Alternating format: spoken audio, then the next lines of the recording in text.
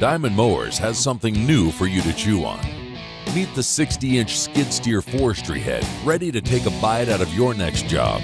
It'll mulch a tree with a diameter of up to 6 inches like it's an hors d'oeuvre and make a meal out of trees 14 inches thick. Uniformly sized and easily maintained teeth make for efficient cutting and higher production.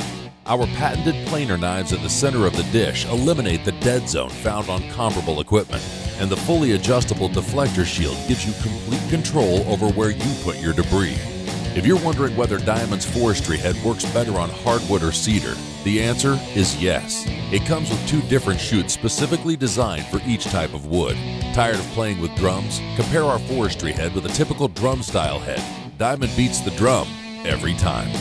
The 60 inch skid steer forestry head from Diamond Mowers. Isn't it about time you showed your teeth?